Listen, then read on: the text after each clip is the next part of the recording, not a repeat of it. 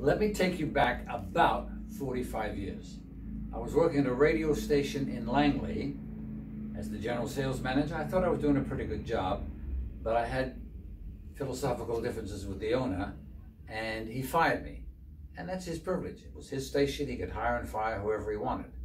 It was 45 minutes to drive home.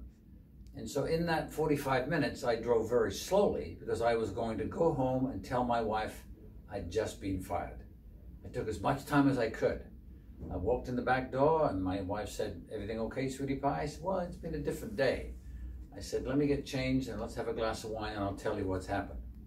So we sat down with a glass of wine.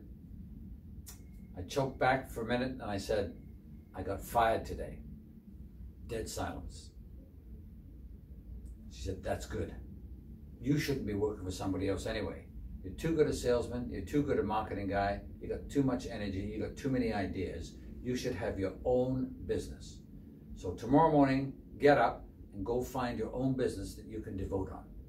There was a man in Vancouver called Al Davidson, great sportscaster. He had a magazine called Al Davidson's This Week, and it went broke basically the same day I got fired. I had coffee with him. I said, Al, I'd like to buy your publication. I bought it. The next week, I turned it around and I called it TV Week Magazine. That was 45 years ago. TV Week Magazine, we still publish, is still the number one magazine in our stable of 27 magazines. And here we are today, because I got fired because I was encouraged by my wife. We are considered the number one privately owned magazine publisher and business in British Columbia. So encourage people, uplift them, tell them they can do a lot better than they think they can, just like my wife did some 45 years ago. Make it a great day.